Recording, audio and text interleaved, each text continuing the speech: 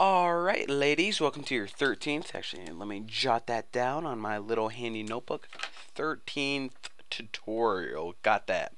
So, as promised, like I said, we're done with this class. So, go ahead and create a new file and go ahead and save this as, make sure I don't have it already. Alright, chat.php. So, in this tutorial, what we're going to do is we're going to begin building what I want to say it's the main PHP file. Now, I hesitate when I say that because, of course, there isn't like one main file. You need all of these files for your program to work. But in my mind, in my heart, this is the most important PHP file because it kind of ties everything together. It's the one PHP file that you interact with first, and uh, like I said, in my mind, it's the most important one. So, this is just a class. These are just the pieces to the puzzle. Now we have to put the puzzle together. But before we do that, we need the pieces. So let's go ahead and require once, of course, that file that we just made, chat.class.php. Now what we're doing is we're basically importing all of this crap into this file that was a lot easier than having to code all that again. So, boom, that's what we did right there. So, the first thing I want to talk to you guys about is the different modes. Now, this chat room is going to do a lot of different things. You're going to be able to send messages, you're going to be able to delete messages, you're going to be able to, you know, read messages, not only just send them, but read them as well from other people. So, all of those different modes we're going to keep track of a variable called mode. So go ahead and set that equal to dollar sign money money cash money post mode.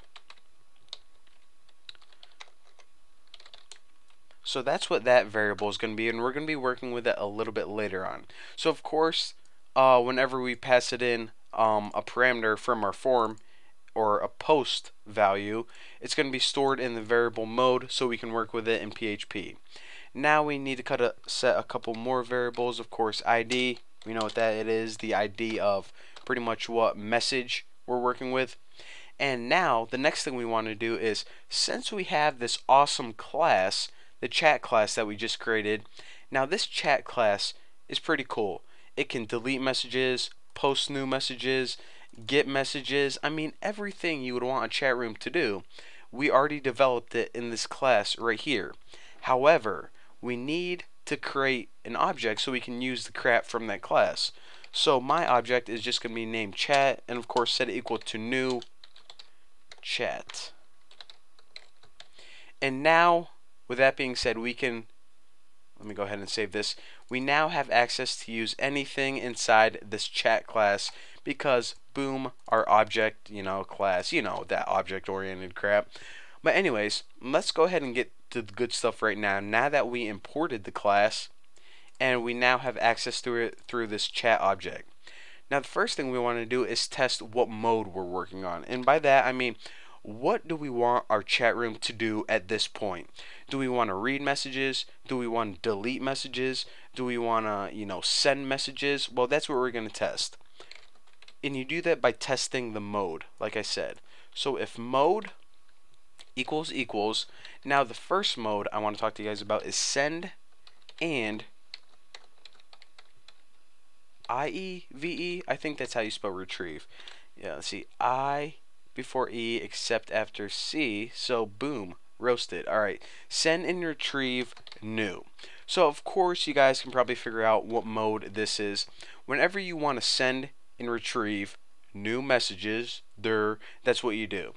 So think about this. Whenever the user is typing in their chat room and they want to send a message, what information do you need to get from the user before you send it off to the database?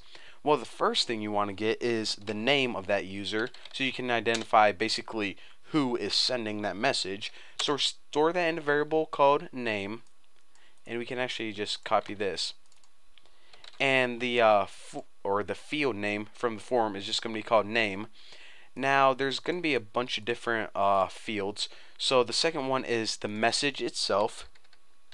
Like, hi Johnny, want to go out and get pizza? Or, um, no thanks, Sally. I'm going steady with Roxanne. I don't know. Like the message content itself is going to be stored in the parameter message.